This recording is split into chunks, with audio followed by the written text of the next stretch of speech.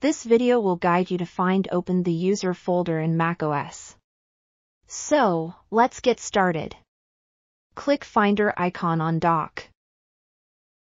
Scroll down and find Mac hard disk in the sidebar. Click it. Open Users folder in the right window. Find your Mac login name, it's your user folder.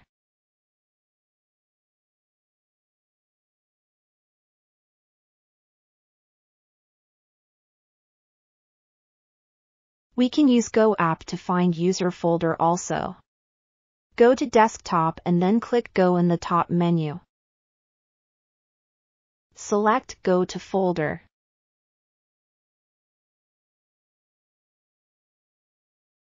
Enter path slash users and press enter in the keyboards.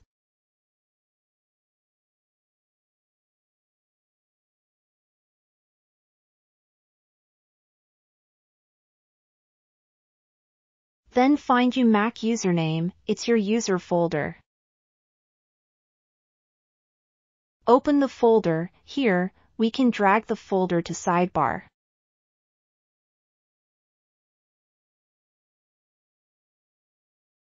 Thanks for watching, see you next time.